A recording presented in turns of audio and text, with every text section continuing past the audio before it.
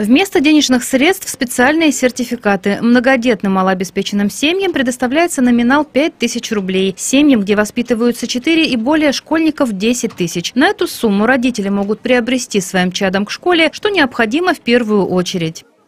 Акция делится на два этапа, это областной и городской. Сегодняшняя акция здесь на 5 тысяч и на 10 тысяч. На 10 тысяч получают помощь те семьи, у кого четверо и более детей, учащихся школ города. А 5 тысяч – это малоимущие.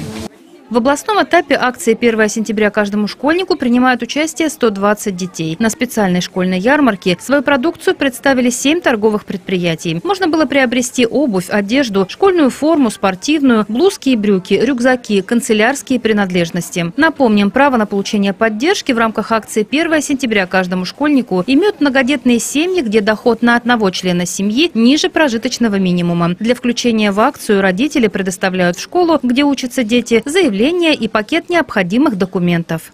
Необходимо собрать определенный пакет документов, чтобы подтверждение, что действительно у них прожиточный минимум не достигает МРОД. И ну, соответствующие документы, копии паспорт, СНИЛС и так далее. Это в третьем класс пойдет, и мальчик еще в первый.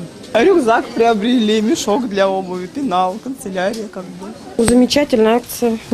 Что уже приобрели, что еще планируете? Нет, все, спасибо. Блузка белая, жилетка и худи. Параллельно с областной акцией в городах и районах Кузбасса проходят муниципальные акции 1 сентября каждому школьнику. Средства на эти цели идут из местных бюджетов. В рамках городского благотворительного мероприятия в Ленинске-Кузнецком будет выделено 600 тысяч рублей. Материальную помощь в размере 2,5 тысяч получит 240 семей нашего города. Анна Кириллова, Павел Желтиков, РИА Ленинск.